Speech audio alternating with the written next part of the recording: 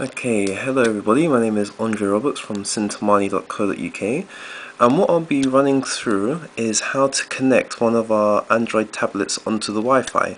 Now this can be, this method can be used for all other Android devices we at Cintamani, in the time that we've been trading, have had a number of customers always ask for little bits of help and advice in how to connect onto Wi-Fi or how to use 3G or how to connect properly and things like that.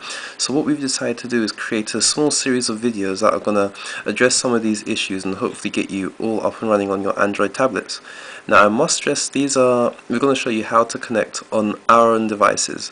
Of course we won't use anybody else's but these are going to be all on the either the Android Liquorice, the Cintamani Liquorice tablet that we have in front of us, or the Cintamani Oregano, or possibly the Spearmint or the Chipotle, you know, other Windows tablets as well. So let's get right stuck in here. Um, as you can see touchscreen there. So to get onto the Wi-Fi we must first access the settings. The settings is this little icon here. You can just about see that there. You just push that and then you go to Wi-Fi and networks at the top and then the first thing you must do is turn on the Wi-Fi. Without doing this, the Wi-Fi will not, your Wi-Fi will not be visible at all. Now what I am doing is I'm using a 3 dongle, a pretty good dongle I suggest using if you just want to use mobile internet on the go. And you can just see it there. So I'm going to be connecting to this which is, which is my Wi-Fi which allows me to have Wi-Fi wherever I go. Okay, so now that the Wi-Fi is turned on, oh it's already connected to something, I'm just going to connect to another network, which is a 3 network. So once you push the Wi-Fi, oh, I'll go back one. Once you push the Wi-Fi settings there, once it's turned on, it takes you to a new page where you can view the Wi-Fi networks that you're close to. As you can see, you can scroll. You can see many different things that you have to that you can choose to connect to. And we're going to choose to connect onto the 3 mobile Wi-Fi.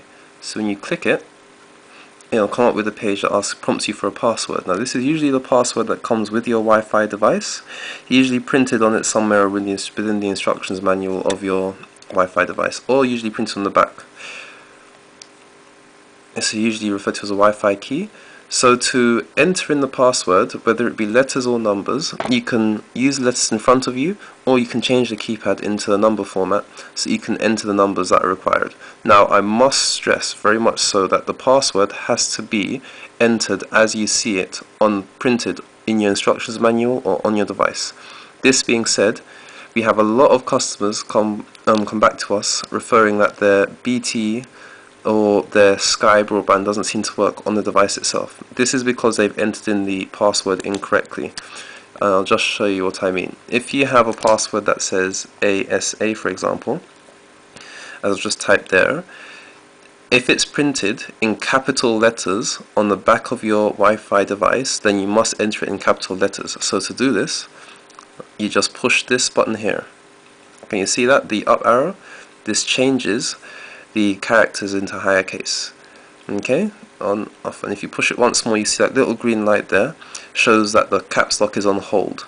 So caps lock relative to what you have on your laptop or your PC, this is the same feature there. Okay, then enter the password. Fortunately, in our case, for the Wi-Fi dongle, it's all in numbers, so I'll just add it now. Zero. Once you've done that, often people ask, oh, I can't see where the password is, what do I do next? So you just click done, and then you can see a little button there that says connect. Now you can also show the password as well, which may be easier and help you typing it in. You just push connect there.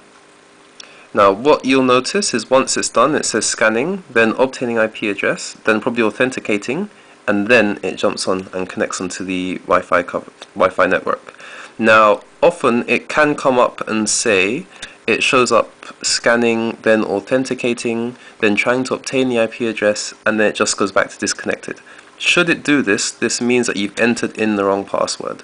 So I must stress once more that you must enter your password case sensitive. This is usually the problem with about 99.9% of the people that come back to us saying the Wi-Fi doesn't work. It's because they've entered the password incorrectly. So, and that is your demonstration of how to add the Wi-Fi on a Android tablet. In this case, the Cintamani Liquorice tablet PC. you can also just showing you there the on off switch there for your power control and I'll go and show you that later in another on other videos so this has been Andre Roberts from Cintamani.co.uk demonstrating how to connect a Cintamani Liquorice tablet PC onto the local Wi-Fi network thanks for watching